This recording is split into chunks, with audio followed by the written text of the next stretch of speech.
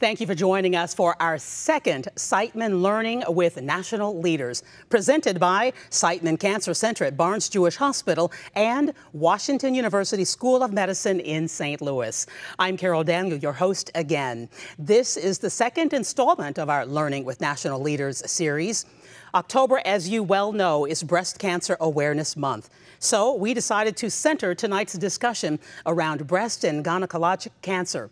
We'll be focusing on treatments, the importance of screening, and some critical efforts everyone, including you, of course, can make when it comes to prevention.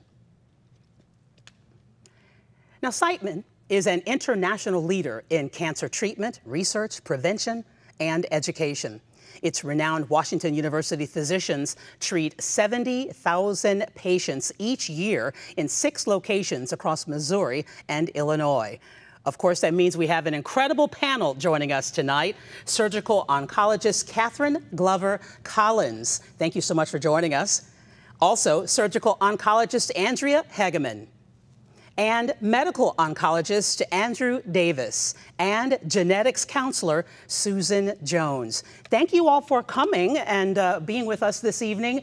This is a powerhouse panel, of course. So we want to give you information tonight that will set your life for health and for joy, even. And a reminder to our viewers to submit your questions right here on this website.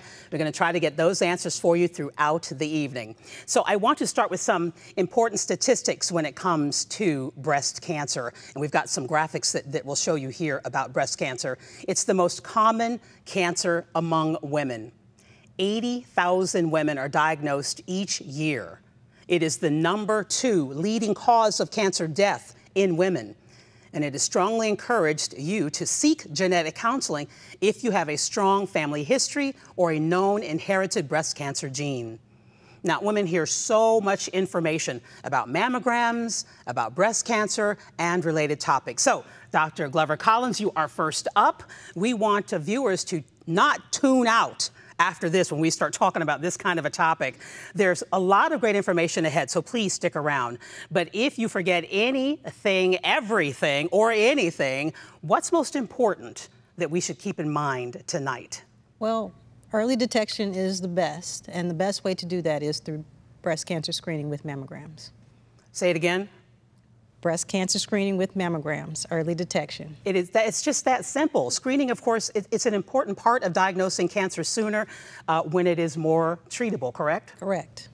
So what should women know about being screened? Because here's what we think about being screened. Some of my friends use the phrase, time to get the boobs smashed. It's uncomfortable. It's painful.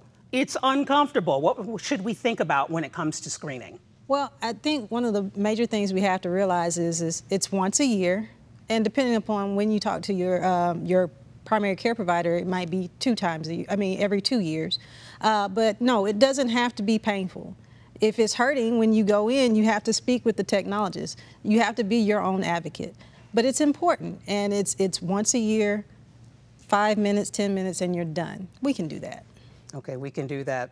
So you're telling me that I should say, ow, this hurts, and, and there's something they can do. So it should not hurt the way it does for some women. For some women, yeah. Me included. Okay, this is not about me tonight, it's about you.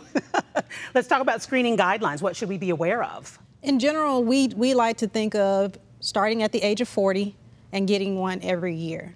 Um, there are lots of different guides out, guidelines out there. If you look on the American Cancer Society web, uh, website, um, the U.S. Preventative Task Force, you know, they break it down by different age groups. But a good general rule of thumb is get a mammogram when you hit 40 and get it every year. Okay, I want someone to ask about dense breasts because we're going to take your questions, okay? We've got some questions already coming in, so I know someone's going to ask about that. But for those, um, Dr. Davis, who have not been screened for breast cancer, are there common symptoms that they should be aware of? I think it's first important to note that most of these cancers that we're hoping to detect are asymptomatic, meaning that you know a woman is not having any symptoms, and those are the ones that we really want to detect early because those are the most treatable. Um, there are certain things to look out for if, if a woman notices a lump either in their breast or under their arm, uh, any persistent skin changes of the breast, or a pain in a particular area. Those would be kind of alerts to say, you know, contact your primary care doctor and let's get a mammogram now. What kind of skin changes uh, should Yep. we be looking for? That's, Go ahead. that's a great point. I said, don't forget nipple discharge. Uh, I see a lot of women with breast pain, and uh, you know that's the first thing that a lot of people who have cancer and have really large uh, masses in their breast, they're like, oh, it doesn't hurt, so it can't be cancer. But actually, cancer is usually painful, painless unless it's starting to grow into something like your ribs or growing out of the skin. And so, a painless mass or nipple discharge that's bloody or discharge that's coming out on its own. Those are all things that should be red flags. Get in to see your doctor. And you were going to you were going to to respond to the skin changes that we may see. What should we be looking for? You mentioned skin changes. particularly redness of the, the breast. That's something that um, is something that you should uh, be alerted to and really seek medical care quickly. Um, there's a specific type of breast cancer called inflammatory breast cancer that can be quite aggressive, and we want women to seek medical care quickly. All right, let's see if we have some questions. We, we know that we do. Um, here's one question. My sister and I both tested positive for the BRCA2 mutation. Um, our other sister tested negative. What are the chances of getting a false negative on that particular test? Yeah, I, I can answer that. I mean, the, the chances should be small as long as the test has been done through a reputable laboratory. Um, and we would want to be careful that the testing was done uh, fairly recently because there have been some changes over the years um, in terms of better detection on, on that testing.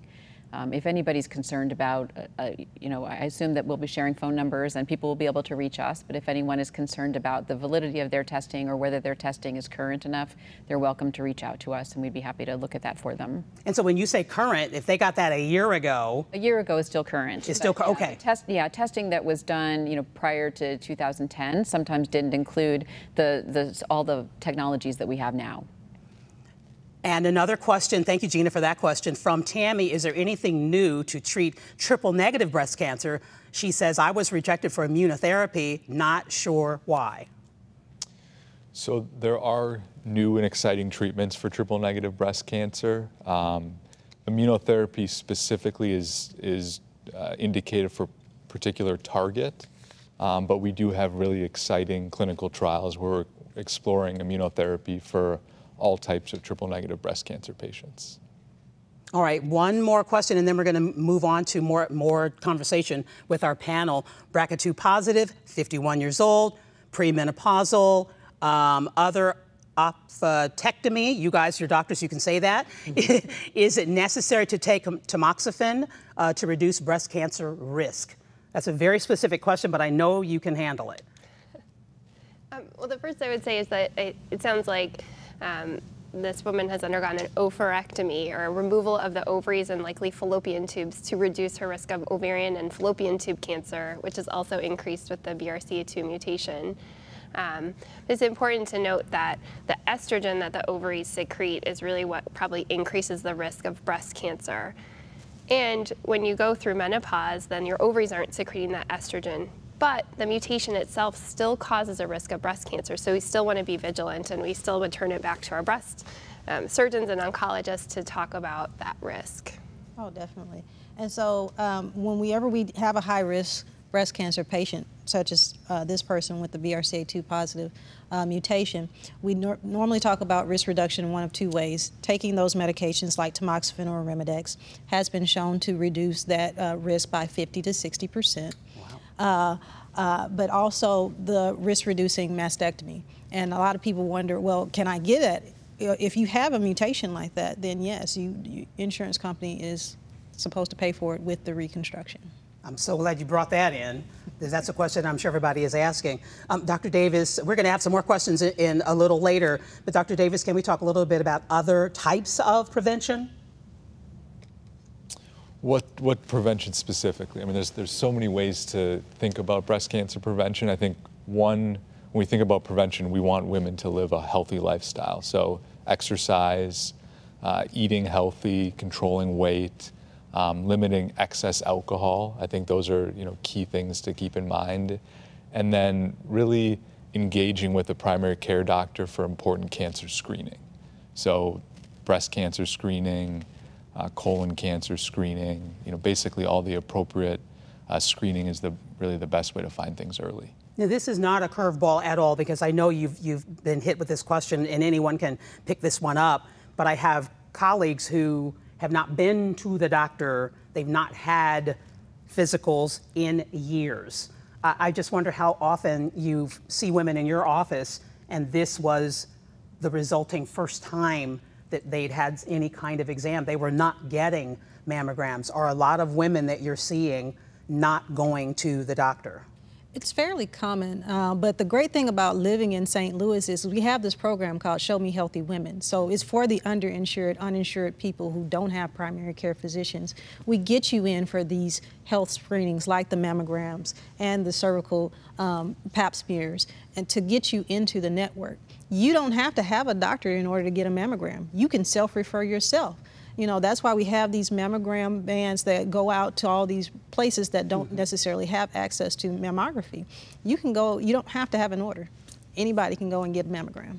I think of all that will be said tonight that that's a light bulb moment for a lot of women because you're thinking, I don't have a primary care doctor. I need the doctor to refer because that's what we always hear with so many different treatments uh, and follow ups that we get, we feel like our doctor needs to refer us. And that's the first time I've heard a doctor say, you don't need to do that. You can refer yourself for a mammogram. You can refer yourself for a mammogram. Okay, you got that? Um, Dr. Glover Collins, you talked about the importance of mammography um, as an early detection tool. Can we also discuss reducing one's risk of breast cancer I know that there are studies at Washington University and at Siteman that suggest ways to do that. Can you tell us more about that? Sure. Um, Siteman has done a lot of research into uh, risk reduction and, and, prevention, and they came up with this uh, program called the Eight Healthy Ways. And actually, Dr. Davis has touched on several of them healthy lifestyle, maintain a healthy weight, and how best to do that exercise, get your uh, fruits and vegetables into your diet, limit alcohol, don't smoke. But a couple of other things that we have to consider birth control pills, being on them for prolonged periods of time do increase your risk of breast cancer, but have other good effects like for ovarian cancer risk. They so actually decrease your risk for ovarian cancer. Mm -hmm. So you know that's uh, one of those important things where you have to kind of tease out what's important for your your health at this particular point in time, and then where do we go so that we can be, put have you on these birth control pills for as small of time as possible to receive the most benefit for what's going on in your life. And then avoiding hormone replacement therapy. I know that menopause is a horrible thing for a lot of people. Ooh, Lord. flashes, night sweats, everything. Um, but we, again, that's something that you want to limit being on. If you're not really having problems, you shouldn't probably be on it for 30 years. We know that it increases your risk. Even the estrogen only versus estrogen with progesterone. And then finally, there are medications, which we kind of already touched on, mm-hmm. the tamoxifen and the Arimidex, that reduce your risk. And that's generally reserved for people who are considered high risk for breast cancer. And you find that out by going and getting a risk assessment by a qualified person. That leads us, I think, into um, more from Susan, our, our, genetic counselor on the panel tonight. Talk about um, any link between family members, sisters, aunts, mothers, daughters who have been diagnosed with breast cancer. How common is this, and, and what should we all know about it? Well, uh, breast cancer always has a family history component, or often does. So the first thing that we can do is offer genetic testing to families where there is a strong family history. It's always better to start by testing someone who's been affected with cancer if possible. Um, but we never want to stop any patient from coming in to see a genetic counselor and asking for their own testing. We're always happy to, to talk about options with them. Um, we can do genetic testing and look for a gene mutation that might explain why there has been breast cancer in the family. If we don't find a gene mutation, though, there still can be family history-based risks, and genetic counselors are qualified to, and other professionals also are qualified to, um, to do some assessments to look at um, an individual woman's personal risk for breast cancer based on her family history and some other personal factors. Um, some women who who have normal genetic testing um, still should be made eligible for additional screening, such as breast MRI, for example. I remember um, interviewing a doctor many years ago saying the older we get, the chance of any number of cancers just becomes a higher thing because your bodies break down. Does it matter the age of your sister, aunt, mother when they develop breast cancer? Right. Well, we do get more concerned if the breast cancer has been premenopausal, so roughly before the age of 50. Um, but we are always are happy to talk to any family members who are concerned because, um, you know, if you have multiple family members who've had a breast cancer after the age of 50, we still can, you know, talk about your personal risk and consider whether testing would be appropriate. Do people get nervous when they hear uh, their when their doctor says, "I think you should get genetic counseling"? Do they get nervous? And what does it? Is it a simple blood test? Yeah, well, genetic counseling is the process of coming in and talking with us. Talking the genetic testing, I should say, not the counseling. Okay. Yes. Well, just people may get nervous about both of them, but um, but coming in to see a genetic counselor, and we talk about family history. We kind of go over all of the information, and we discuss the the ins and outs and the the pros and cons of genetic testing. We're never there to push genetic testing on a patient, but to provide all of that information and allow them to get their questions answered. And then, if the patient wants to move ahead with genetic counseling, we can help them do that. Um, so we hope that we, you know, by providing that information, we're, you know, dispelling any fears or anxieties that our patients have. And that's really why we are doing this series to do just that, you know, to further inform you, to you have deeper information and deeper awareness and understanding so that you are not afraid. And we all know that knowledge is power, and knowing your family history can help you make choices that could easily change the game when it comes to cancer prevention. Here's one family story. This is cute. This is the one we had blown up right, at your birthday party. party. Right. Yeah. This is when I was going to be a dancer. I'm 80 years old, raised six children, and I was very healthy all my life. And then I discovered I had breast cancer, which was pretty shocking to me because I didn't think we had cancer in the family. I had four weeks of radiation and kind of sailed through that with no problem and then just kept on with my life and didn't think about cancer again. So when I was diagnosed with pancreatic cancer, I was shocked. The surgeon at that point said, well, there could be a link between the pancreatic cancer and the breast cancer, so we would recommend um, genetic testing for some kind of gene mutation. The oncologist confirmed that she did indeed have the BRCA2 mutation. A gene mutation is a variant in the gene. It's basically a misspelling. Not everyone who inherits a mutation in a cancer risk gene will have cancer, but they do have an increased risk for cancer in certain areas. So that's a big part of our job is to, to explain about inheritance patterns. And um, in this case, there was a 50% chance for the, Noreen's children to also have inherited the same gene variant. BRCA2 is a gene that increases the risk for breast cancer, ovarian cancer, pancreatic cancer, and also melanoma. Bridget did pursue genetic testing and she found out that she was positive for the gene mutation for the variant. Having that knowledge definitely helps with decision making. For me personally, I will be getting an MRI of the breast and then the mammogram every six months. And since ovarian cancer cannot be screened for, I also made the decision to remove the ovaries, fallopian tubes, and uterus to mitigate that risk. How are you? you know, when you have a diagnosis of cancer, that's it. You have it 100%, and maybe your choices are more limited. Here, in a preventive setting, you have a lot of choices. By Bridget doing the hysterectomy with removal of her tubes and ovaries, she has reduced her risk of ovarian cancer from up to 20%, increased risk down to about 1%, which is really the general population risk. It's really important to have a multidisciplinary team that is actively engaged in um, the management of the whole person, not just one organ, because it's, it's more than that. Knowledge is power it's important to have the knowledge and then make whatever decision is best for your health and your family. My name is Mary Claire. Bridget is my cousin, and Noreen is my aunt, Aunt Noreen. I'm 22, and I found out that I was BRCA positive as well it was a lot to unpack, I'm not gonna lie. But talking to Susan was so easy. She was kind of like, you know, we're here, we've got all this information. I think that's part of me being a planner. I wanna know what to do. Like, I wanna know how I can be the best at each, each step. So I'm kind of just taking it that way. It's not good news or bad news, just news that I can use in the future. Genetics can be complex, and so it's a part of my job to try to explain genetics to people in a way that they will clearly understand it and be able to use that information to make the best decisions for themselves and for their families.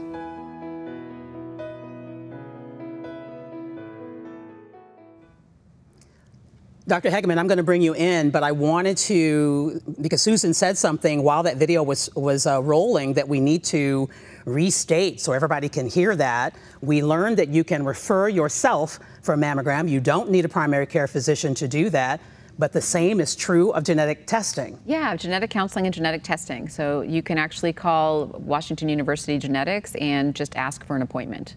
Um, Simple we don't, as we that. don't require a primary care provider or someone to send you. That is so wonderful to know. Okay, Dr. Hagemann, as, as we just saw in that video, inherited cancer risk can result in different types of cancer, including gynecologic cancer.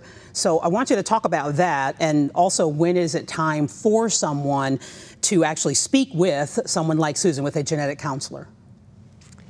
Yes, well, I think, you know, when we're we, uh, as we mentioned in the video, I think a multidisciplinary team is always great. We love it when we can all work together. In fact, we do quite a bit. Sometimes Dr. Glover Collins and I are operating together.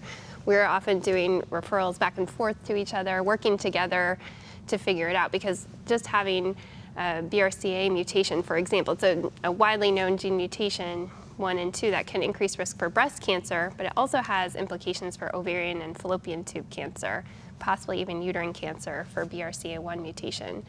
So we always want to discuss how to reduce those risks, you know, depending on the age of the patient and depending on their fertility desires, if they're younger, um, all of those things go into the consideration. Um, so once we know there's a mutation, then we can do the things to, to prevent the cancer. If there's just a cancer risk in the family and you don't know, we always suggest genetic testing. It's not the only thing that's going to tell us about cancer risk, but it sure does give us a helpful, you know, quantitative number to, to go along with our counseling. All right, that is excellent to know. So we want to check in again. I'll put my my eyes are almost 60 glasses on so I can see these questions. You guys have some great questions this evening. Um, here is one How do I find a surgeon for my triple double mastectomy involving some spread to lymph nodes as well as reconstruction? And what is the process? Okay. Um, so, sounds like this person has a triple positive breast cancer. So when we talk about breast cancer, we talk about things called receptors, estrogen receptor, progesterone receptor, and HER2 most people don't hear about triple positive, they really hear about the triple negative. But so she has a, a HER2 mutation, which makes her her great candidate for the chemotherapy up front.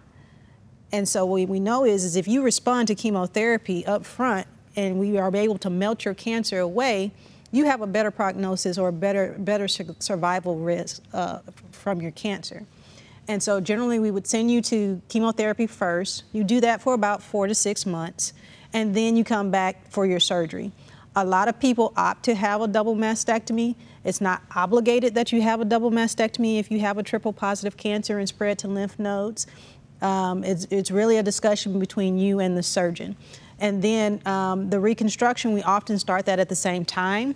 So we, whenever we know you want to do a mastectomy with reconstruction, we send you to the plastic surgeon so we can have those surgeries together and, and keep the ball rolling. Um, and then to find a surgeon, the easiest way is Siteman Cancer Center website, schedule an appointment with the doctor, and we'll, we'll get you in with one of our So I just, I'm surgeons. on the website, I'm looking. Make an appointment, breast surgeon, we got you. Just like that? Just like that. It doesn't seem like it'd be that easy. It is. we, yeah, and I think Dr. Glover Collins brought up a number of important points. Um, we really work together as a team. You know, for patients like this, we have conversations on kind of order of how do we incorporate surgery and systemic therapy and potentially radiation therapy as well, and really try to personalize the pro- approach based on the type of tumor uh, to ultimately give the, the best outcome for the patient. So we do work together as a team to do that. And I think you raise a really good point is that we're trying to personalize your care. And I tell all my patients, your breast cancer journey may not be the same as your sister's journey. For sure. Or your neighbor's journey or your church member's journey because the things that we're recommending is based off of your cancer. And so uh, I think that's a really large point to drive home is, is that everybody's cancer is different and we want to do what's best for you. So It's not just that we want to send you down this straight path. Mm-hmm. We want to personalize it for you. Is it likely they've met with you before they've chosen and then choose a surgeon? Or I would imagine somebody's watching and they want you all to tell them rather than going to the website and choosing. They want to know from you, because I'm sure you've been asked, who's the best? Who should I go with? I'm having my surgery on Thursday. Who's good on a Thursday? Well, I would say I would argue that all of the Siteman doctors at breast uh, in the breast center are great, uh, and it's really a matter of finding the one that you that fits your personality. Um, my partners and I, we are always willing to. If you're not happy with me, I have my partner right here. She's willing to see you, and we will get you straight. Okay. And that goes along for the other divisions as well. Yeah. And, you know, I just always tell everyone I'm just so lucky to work here with these wonderful colleagues and, um, you know, all of my partners I would send my family members to in a heartbeat. So I think that, you know, we, we are all here working together. So. Yeah, we know that people come from around the world to go to Siteman. We know that. We're so lucky in St. Louis. Let's take another question um, to go with my question about um, finding surgeons. This is a follow up. Um, just started chemo for breast cancer. The last treatment should be December 20th. Would like to line up surgery soon after. So definitely we need to get her into the clinic so we can get her uh, associated with the surgeon and then get her to the plastic surgeon and we'll, we'll get her. We typically would like to do surgery within four to eight weeks after completing chemotherapy. Okay. Um, and so if we can get her in now, having her surgery by January is probably would be our tar target. And because everybody's journey is different, not everyone going through chemo is going to have surgery necessarily, but mm -mm, yeah, most likely, should a person choose that surgeon before chemo, or it just it's personal for sure. Typically, we try to have all of that, uh, all of those people in place. But if she doesn't have a surgeon, um, we we definitely would be happy to see her. Okay, here's another question. Um, my maternal grandmother mother, a sister, a niece, and me all have had breast cancer, yet testing has not yet identified a gene. Yeah, I mean, it's not really a question, but it's, but yeah, I mean, it, it happens. It and, happens. and that kind of goes back to what I was mentioning earlier, that there still is a family history component to breast cancer in many families, even if there's not a gene mutation that's been found. Um, and there, you know, we, we do our best to, um, to create a, a family history-based risk assessment for anybody in the family who is, is curious about other testing that they could do, other screening that, that would be available to them. Um, and it, it's always worth checking in with a genetic counselor as well, just again to make sure that the most current type of genetic testing has been offered. Many times in years past, women were just tested for BRCA1 and BRCA2, and now we tend to test for a large number of genes. We do fairly full genetic testing panels. There are about 14 genes that are specifically related to breast cancer alone. So, um, mm -hmm. you know, we'd want to make sure the testing was up to date. And I would love you if you ask that question. You can, um, because I know that our team behind the scenes, they have all your information, but you can ask that question and, um, and add to that question, I should say, when did you get that testing? If it was 10 years ago, we've made strides since then. So you might want to get it again if, if you need to know. Yeah, and again, we always welcome people contacting us and just asking us, you know, here's what I had. Can you look in my chart and see what I had? Or, or they can they can share their mm -hmm. information with me. Um, is it is it up to current standards? And we're happy to look at that for them. I love this. This is such a great discussion. Um, eh, so. Dr. Davis, a question for you. We, we know that great strides have been made in the treatment of breast cancer, and the survival rate is better than it's ever been. Can you tell us about some clinical advances um, that you think are noteworthy tonight? I think it's a really exciting time. Um, Dr. Glover Collins mentioned there's different subtypes of breast cancer. So there's kind of three main subtypes, hormone sensitive, HER2 positive, and triple negative.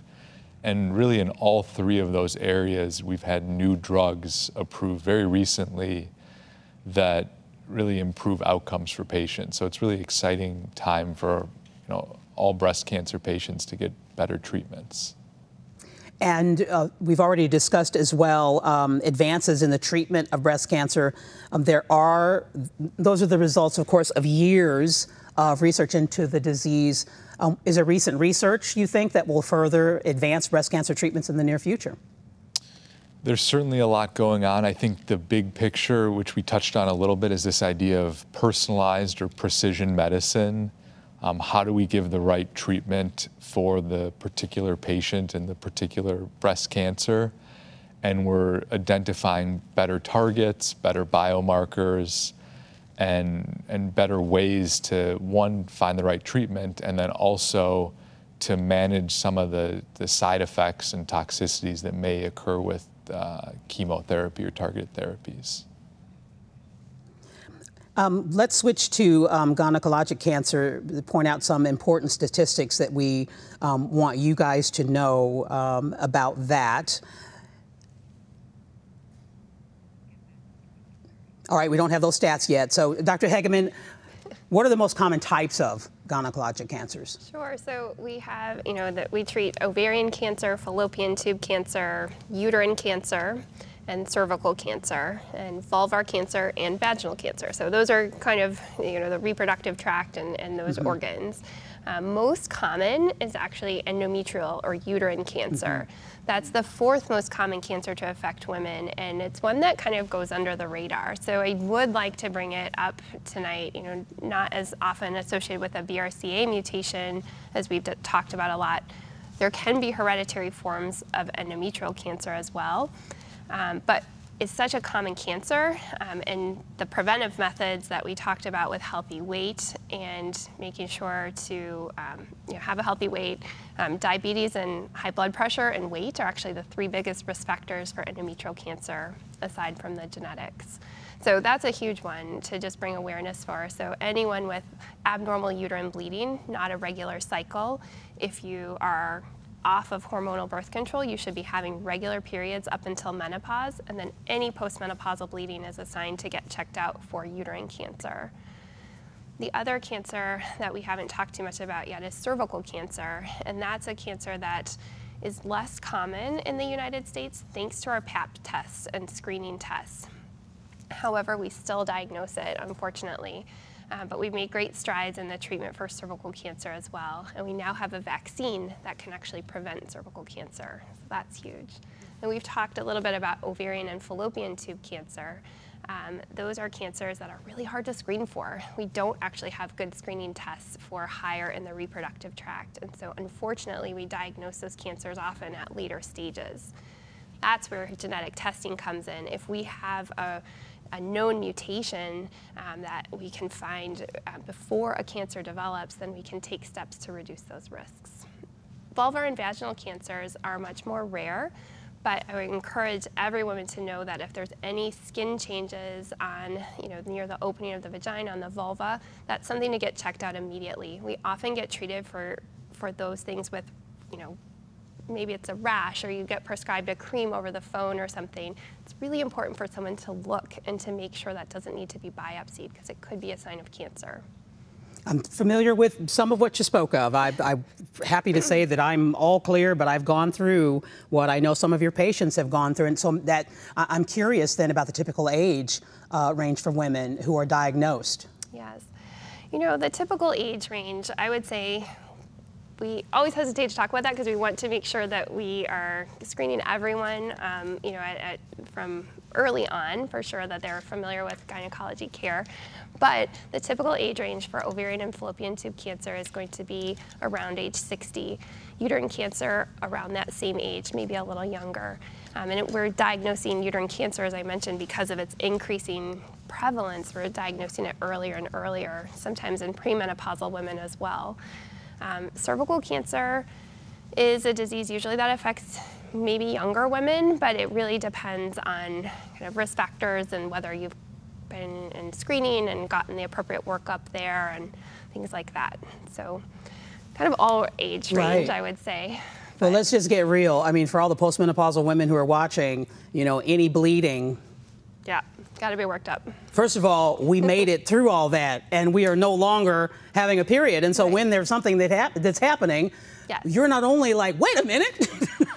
this shouldn't be happening, and that is the issue. It shouldn't be happening. That's right. And the good news is that that bleeding is a sign, right? It's usually a sign that brings people into our office. So again, if you don't have a doctor call us up. We're happy to get you in, even if, you know, it's just similar that the message has already been provided tonight. But, but definitely that's a sign that usually brings people in. So we're lucky with the uterine cancer that it usually has early warning signs and we can detect it early.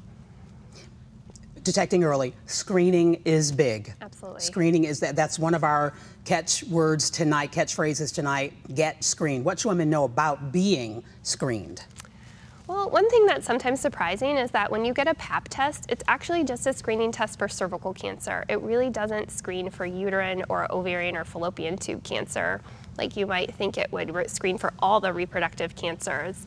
Um, but the cervical screening test is it works. Um, we test now for both just abnormal cells on the cervix, but also for HPV or human papillomavirus. But that's what the PAP test is doing. So once you have, if you've had a hysterectomy for other reasons, had a removal of your uterus, you actually don't need a pap test. You may age out of the screening to, to need a pap test, but just to know that that doesn't really account for uterine or ovarian cancer screening very much. Sometimes there it's more important to know about symptoms that you're having or the bleeding as we talked about, pelvic pain, abnormal bloating or feeling full quickly. Those can be signs of more of an upper reproductive cancer. I, I, I think I, um, it was either a commercial, public service announcement, I, I can't remember, but pain during sex is Absolutely, that's something that also should be worked up because that could be a sign of a, a mass on the ovary. Mm -hmm. It mm-hmm. could be the sign of, and actually, sometimes that even can detect other cancers, such as a colon cancer or something like that in the abdominal cavity. So, you know, anything that just, you know, really pain is a good warning sign for, for most things and should bring you in to talk to someone. And I, I, I don't want to embarrass anybody, but I, I, I'm almost certain that a lot of women, your mom didn't necessarily have a lot of conversations with you, and her mom didn't have conversations with her. And so for me to say pain during sex isn't necessarily normal is not something that mom said to you because that's not a conversation that you're having with mom. Um, and then right, a lot yeah. of moms are not, we're not having conversations about what your menopausal experience was. So women don't know necessarily. So it's, that's why another reason that I, am so happy to have you all here tonight in this, that, that our uh, discussion is so important. Let, us talk a little bit about screening guidelines. Can we, sure. what should we be aware of? What should women be aware of in terms of screening guidelines? Right, so the most common, you know, again, the guidelines are very clear for cervical cancer, and they're actually updated as we learn more about human papillomavirus and how we test for that. So now we have a test that screens for HPV, human papillomavirus. If you aren't affected with a high risk HPV, then your chance of getting cervical cancer is very, very minimal, and you actually don't need another PAP test for five years if your HPV test is negative. Now this changes with age. Our, the younger you are, you're going to clear HPV with an intact immune system. So we're very lucky younger women actually clear their, their HPV very quickly. As we get older, it becomes harder. And so that high-risk HPV then can be worked up with uh, microscopic exam of the cervix or biopsies or even procedures that can remove some of the abnormal cells before a cancer is found. And so that's the number one way to prevent cervical cancer is to have those screenings at appropriate guidelines. There's been some confusion over the past years because those guidelines have shifted um, to not be every year. You know, you think of going to the doctor every year and getting your yearly PAP. That's just something we've commonly grown up right. thinking. And that's really changed as we know more about HPV. So again, if you don't have HPV, high risk HPV, you don't necessarily need to be screened every year. We want to minimize harm too, and mm -hmm. that mm-hmm. discomfort that comes with having to think about going to the gynecologist. And we don't want to do too much over screening and you know have have problems there too.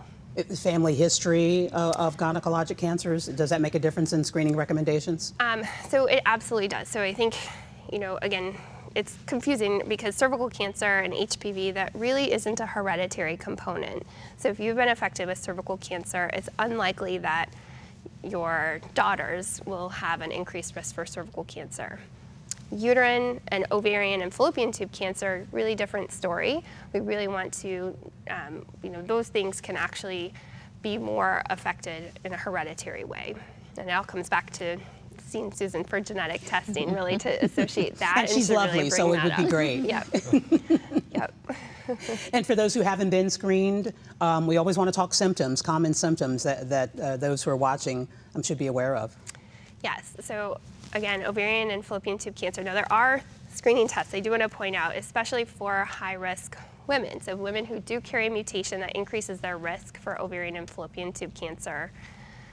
Again, the screening tests don't work as well as mammograms and MRIs for breast.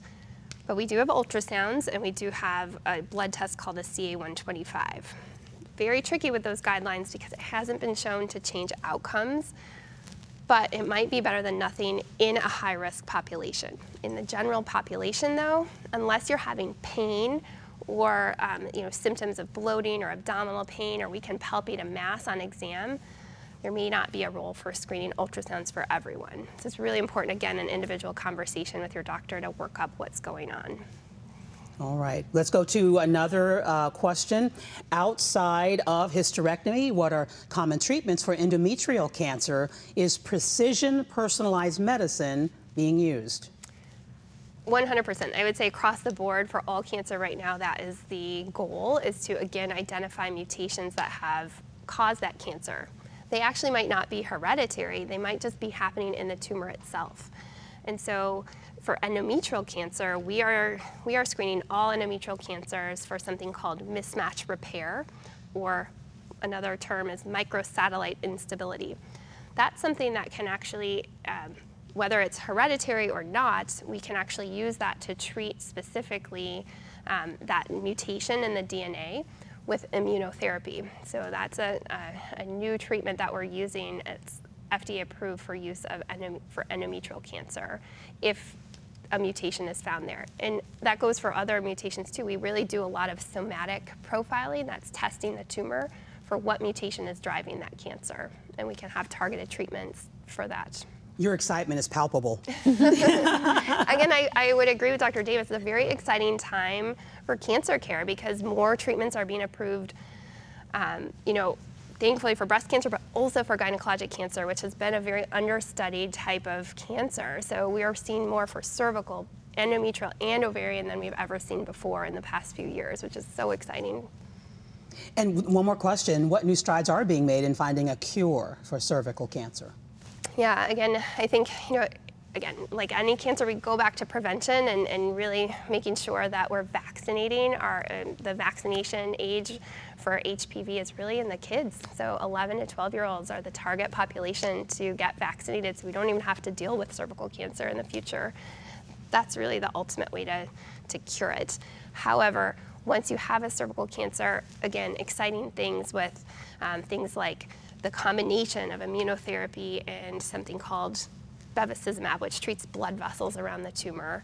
Um, we're also seeing now um, a new FDA, two new FDA-approved drugs for cervical cancer in the last couple of months. So we're making progress.